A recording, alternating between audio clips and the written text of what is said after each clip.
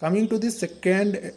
coming to the second editorial race to the bottom with subtitle restricting journalists does not serve the interests of china or india मतलब अगर आप पत्रकारों को प्रतिबंधित कर रहे हैं तो ये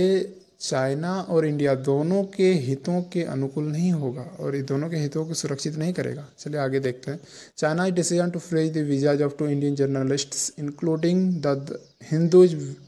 Beijing correspondent has shown how journalists have unfortunately been tracked into rising geopolitical tensions between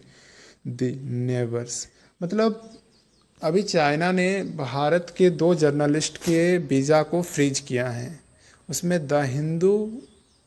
newspaper का बीजिंग का जो अप, ये है कॉरेस्पॉन्डेंट उनका भी शामिल है। तो ये दर्शाता है कि जब जियोपॉलिटिकल टेंशन होता है पड़ोसी देशों के साथ तो उसमें जर्नलिस्ट को मतलब दुर्भाग्य दुर्भाग्य रूप से आप कह सकते हैं कि उनको इसका बहुत ही खामियाजा ये करना पड़ता है कि उनको दबा दिया जाता है। China's government on uh,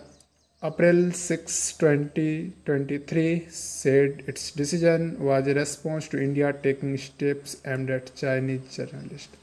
अब चाइनीज़ सरकार का ये कहना है छः अप्रैल को कि हम इसलिए ऐसा डिसीज़न ले रहे हैं क्योंकि भारत सरकार ने चाइनीज़ जर्नलिस्ट के ऊपर ऐसा कर रही है तो हम प्रतिक्रिया कर रहे हैं इन 2017 चाइना से India had shortened the visas for India based reporters to three months, down from one year, that is the norm in both countries.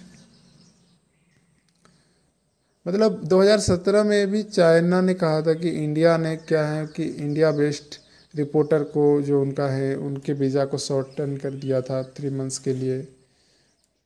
तो ऐसी बात थी then on March thirty first this year report said Injua uh, reporter was told to leave India with Beijing's मतलब और मार्च thirty first को इस साल जो है ना रिपोर्ट का कहना यह है कि एक चाइना का रिपोर्टर हैं। उनको कहा गया कि आप इंडिया छोड़ दीजिए। ऐसी रिपोर्ट आ रही है। With Beijing's retaliatory move Uh, there are only two Indian reporters in China who have been warned of countermeasures if Chinese visa were not restored to one year validity. मतलब China के इस प्रतिक्रिया वादी रुख के ये पे आप देख सकते हैं तो टू इंडियन रिपोर्टर्स को ये कहा गया कि चाइनीज़ वीज़ा को आप एक साल के वैलिडिटी के अंतर्गत आप रिस्टोर कीजिए, नहीं तो आपको काउंटर मेजर आपके खिलाफ लिया जाएगा, ये सब चीज़। It is now entirely possible that there will be no reporters from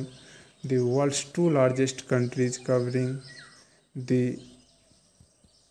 other a most unfortunate development amid worsening relations मतलब अगर समग्रता से आप देखिएगा तो ये संभव है कि कोई रिपोर्टर्स नहीं रहेंगे। दुनिया के दो लार्जेस्ट कंट्रीज़ में को कवर करते हुए। उसमें कोई रिपोर्टर नहीं रहेंगे। मोस्ट फॉर्चुनेट डेवलपमेंट और ये एक बहुत ही मतलब दुर्भाग्यपूर्ण एक हम कह सकते हैं कि स्थिति देखी जा रही है। मतलब विकास हो रहा है इस क्षेत्र में, हम कह सकते हैं कि पत्रकारिता के क्षेत्र में एक दुर्भाग्यपूर्ण वृद्धि हो रही है, विकास हो रहा है। And restoring the access of journalist on the basis of reciprocity is not complex मतलब आप अगर प्रतिक्रियात्मक रूप से अगर जर्नलिस्ट के एक्सेस को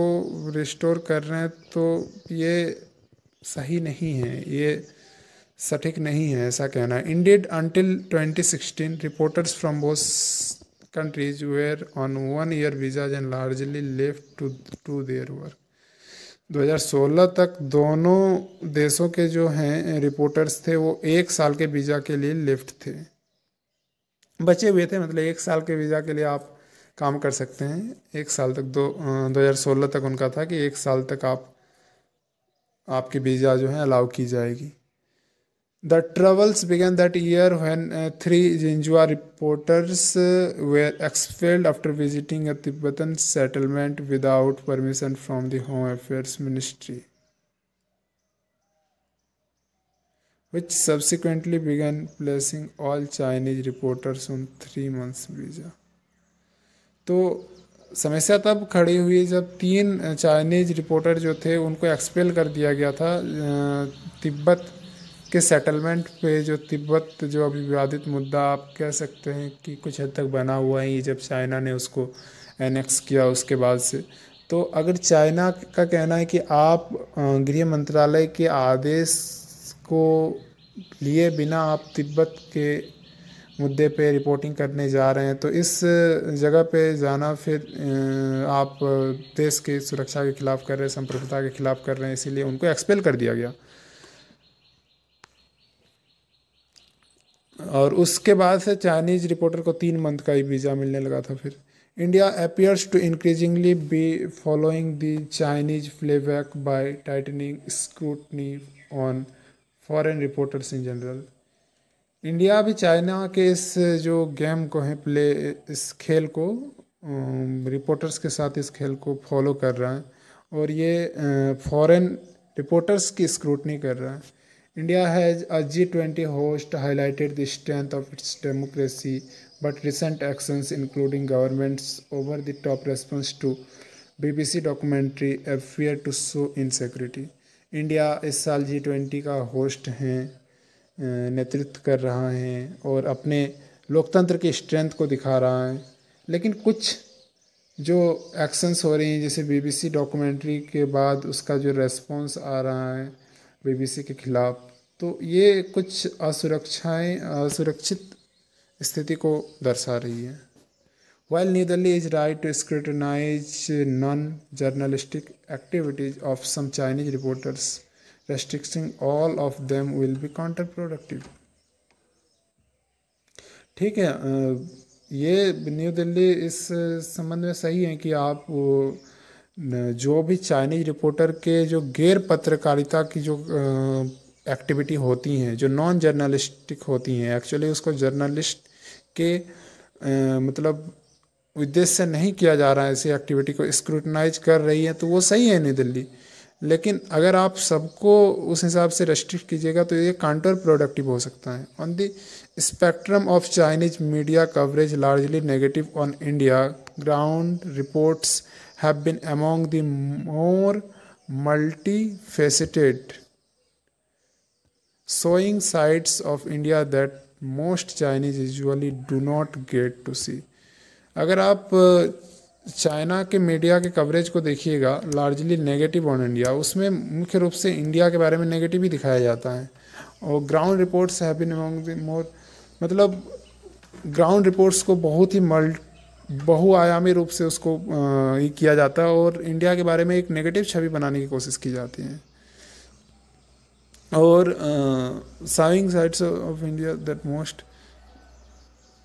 और ऐसे चीज़ को इंडिया का दिखाता है, इंडिया के साइड से जो अधिकतर चाइनीज़ नहीं देखना चाहते हैं। बीजिंग मतलब आप सबसे पहले तो नेगेटिव चीज़ दिखाएगी और इंडिया के बारे में उन चीज़ों को दिखाएगी, उन गैर महत्वपूर्ण चीज़ों को दिखाएगी जो चाइनीज़ लोग इंटरेस्ट ही नहीं लेना चाहेंगे कि ये सब अगर मान लीजिए इंडिया में हो रही है तो ये सब देख के हम क्या करें। तो ऐसी ऐसी चीज़ों को चाइनीज़ जर्नलिस्ट का अप्रोच रहा है। Meanwhile also stand to lose from its decision to restrict Indian media access Beijing का भी ये स्थिति रहा है कि वो जो है ना इंडियन मीडिया के एक्सेस को लूज कर रहा है।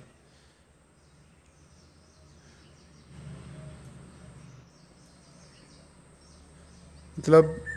इंडियन मीडिया के एक्सेस को रेस्ट्रिक्स करने का उसका जो डिसीज़न है तो उसमें भी वो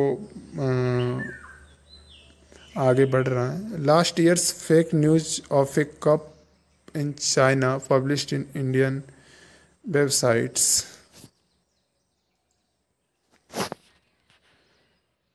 अब एक तख्ता पलट जो चाइना का जो था लास्ट ईयर 2022 में, चाइना, चाइनीज़ तख्ता पलट से संबंधित कुछ फेक न्यूज़ वायरल हो रही थी इंडियन वेबसाइट्स पे। वो हाईलाइट कर रहा था कि उसके ऑन द ग्राउंड कॉन्टेक्स्ट को। अब चाइना के स्थिति में ये एक्चुअली में क्या चीज़ है ग्राउंड लेवल पे, वो चीज़ नहीं था, लेकिन वो एक फेक न्यूज़ के रूप में तख्ता पलट की बात चल रही थी इंडियन वेबसाइट्स में तो। ज़ाहिर सी बात है चाइनीज़ गवर्नमेंट इस पर action Lee. More if Beijing is now justifying its freezing of visas by pointing to reciprocity it should be aware that reciprocity would also mean giving Indian organizations the kind of freedom that Chinese media enjoy in India. ठीक है तो इसका मतलब ये हो गया कि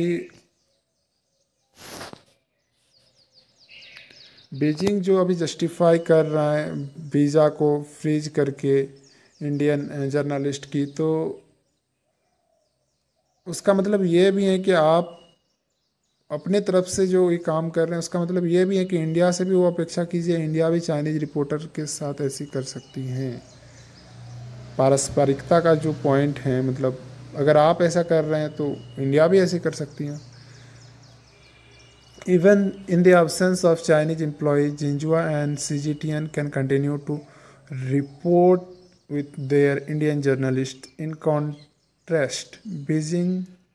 bars foreign media organizations from hiring Chinese journalists except as assistants मतलब